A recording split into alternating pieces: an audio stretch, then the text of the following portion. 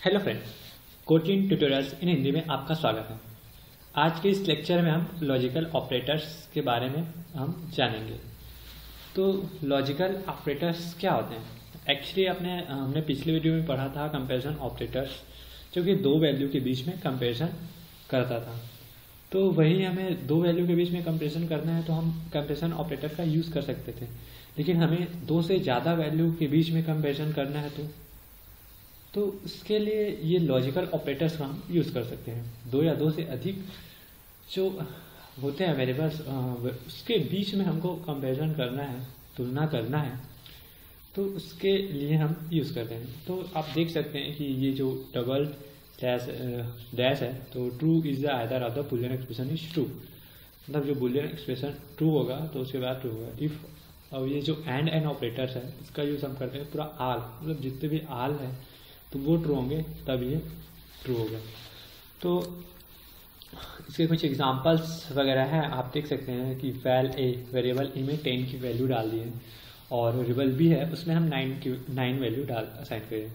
और जो सी है, उसमें माइनस वन हमने डाला वेल रिज़ल्ट बुलियन तो रिज़ल्ट जो होगा, वो बुलियन टाइप का होगा। रिज़ल्ट तो रिज़ल्ट है ए ग्रेटर देन बी है and and a greater than c तो रिज़ल्ट फिर ये क्या एक रिटर्न तो ये है प्रिंट रिज़ल्ट तो इसमें प्रिंट रिज़ल्ट आ रहा है ट्रू आ रहा है. तो इसी को ट्रू इसके आउटपुट ट्रू आ रहा है. तो हम इसे कोड एडिटर से अब देखते हैं कि कैसे इसका आउटपुट देखते हैं एडिटर से. तो फिर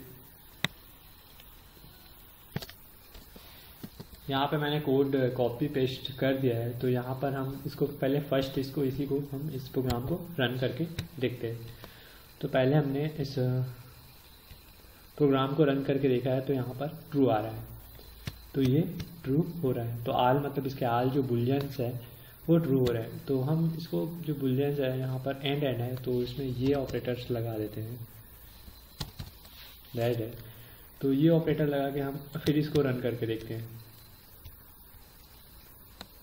तो इसमें भी ट्रू हो रहा है। क्योंकि जो ऑपरेशन है ए बड़ा है तो अगर हम ए बड़ा नहीं है तो हम इसमें फिर चेंजेस करते हैं।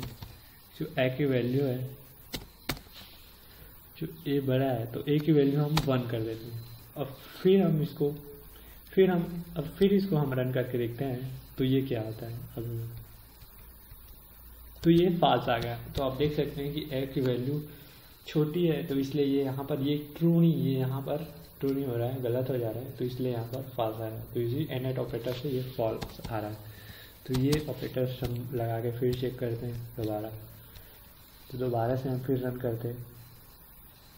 तो यहाँ पे ट्रू आ रहा है। तो ये ये ये जो ऑपरेटर्स है, ये सिंगल एक ही स्टेटमेंट के लिए यहाँ पर हम देख सकते हैं यहाँ पर इस ऑपरेटर का, हम इस ऑपरेटर से यहाँ पे आ रहा है तो ट्रू आ रहा है। ये ऑपरेटर हमने यूज़ किया है तो true is either is expression is true मतलब कोई भी अगर एक एक भी अगर उसमें जो स्टेटमेंट है, इसमें से एक भी स्टेटमेंट अगर ट्रू हो जाता है, सही हो जाता है इसमें जो हमने यहाँ पर लिखा है a my a greater than b या ए लेस देन सी अगर ये दोनों में ऑपरेटर्स अगर कोई भी ऑपरेटर्स या कोई भी, जो कंडीशन सही हो जाता है ट्रू हो जाता है तो ये ऑपरेटर्स इसमें ट्रू वैल्यू आ जाएगा। और इसमें ये एंड एंड ऑपरेटर्स लगाने से क्या होता है कि सभी जो, उसमें जो सभी जो कंडीशन है, वो सही होना चाहिए।